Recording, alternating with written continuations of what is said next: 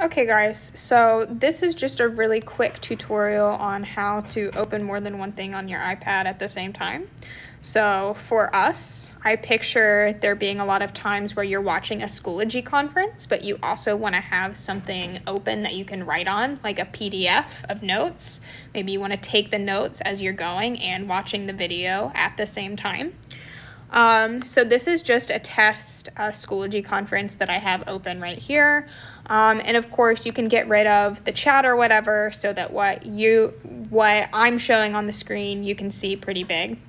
Then let's say I have a PDF of some sort of notes that I want to open alongside of it. Ooh, don't do Siri.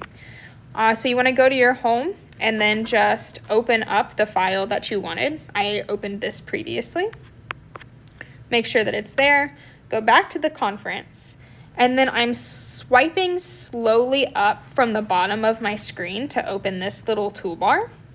And then I'm going to click and hold the app that I wanted to open.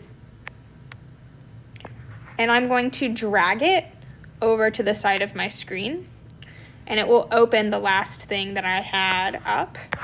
Um, so I can have the notes open over here and I can zoom in, I can write on them just like you can on any PDF, but at the same time, you'll be able to see what I'm doing on the conference and you'll be able to hear it also.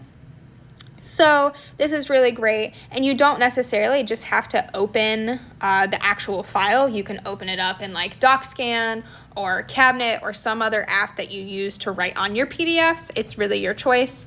And of course you can use this with other applications. You just have to make sure that they're both open before you click and drag one over to the side.